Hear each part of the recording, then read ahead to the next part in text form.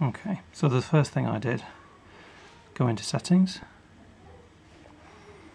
uh, more, application manager, then I started looking at running apps,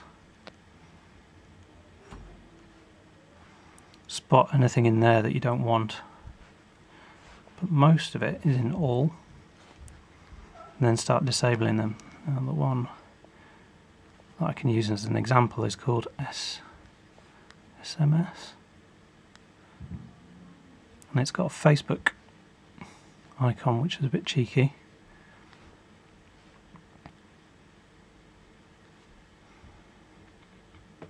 SNS, there it is.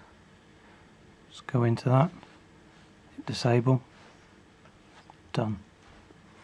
If we go back, you can see all the stuff that I've disabled is giving it loads more battery life. And you're not getting annoying notifications